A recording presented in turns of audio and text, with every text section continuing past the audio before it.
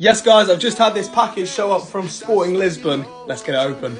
Now, this cost me a fair bit of money, 199 euros, but oh, let's get him out. I've got to tell you, this thing is heavy, but here we go. Wow, look at that. Now, I actually saw this online because Ronaldo's mum posted it when she was given one. Um, it seems to have a replica jersey in there, a few things about him when he was at the club, and um, as I said, 200 euros this cost me.